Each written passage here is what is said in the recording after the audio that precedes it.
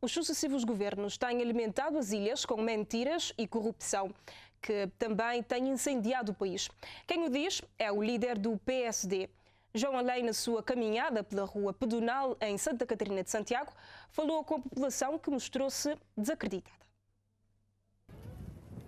O PSD deslocou-se esta sexta-feira na sua atividade de campanha Santa Catarina de Santiago para abraçar o povo do Círculo Eleitoral do Norte. Preocupado com o país a diversos níveis, João Além diz que Cabo Verde está a ser alimentado de mentiras desde a independência, fazendo com que a desigualdade social permaneça e a corrupção se torne uma cultura. Ricos cada vez mais ricos e pobres cada vez mais pobres. Eu sou o Partido, Partido Social Democrata, João Além maneira que nós estamos a trabalhar para ver se nós teremos um futuro que nos seja risonho. Para isso, eu pergunto, qual é a sua opinião? A mudança ou a continuação?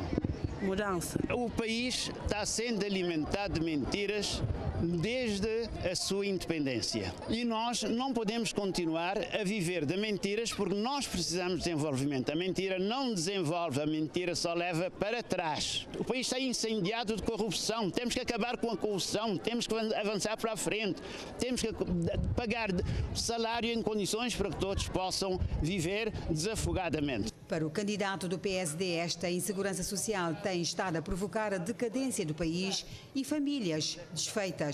A preocupação é ver este povo desanimado, sem poder vender, sem poder fazer o movimento necessário para terem o necessário para comerem.